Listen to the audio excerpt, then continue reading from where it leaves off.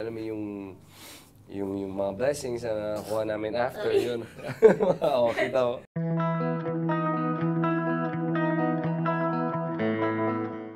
Tungkol siya sa, ano eh, tungkol siya sa isang relationship.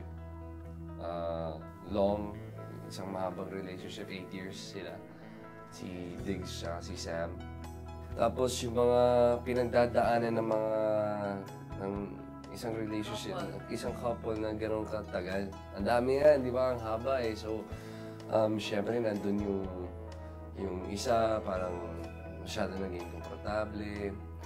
Yung isa naman, ang dami nang hinahanap na mas mag-effort yung kapartner niya, gano'n. And then, The title itself says a lot of things sa story ng ng movie. And uh, it's an anatomy of a breakup eh.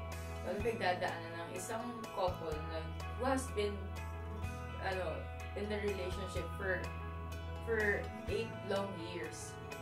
Diba? It's not gonna be easy. It's, it's it, hindi siya, sa isang relasyon talaga, hindi na may iwasan yung mga challenges na, diba, na darating. Pero yun yung magpapatibay lalo sa isang relationship eh. Nare-realize mo na parang wala mo talagang, isipin mo wala mo talagang perfectong relasyon. Diba? May mga dating na darating yung challenges. Pero pag mahal nyo isa't isa, pag usap kayo, communication, alam niyo, eh, tanggapin niyo yung mga differences ng isa't isa, then the relationship will work.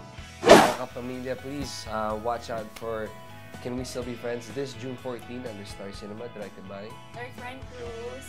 Eh, yun. This June 14 na makita kita kita.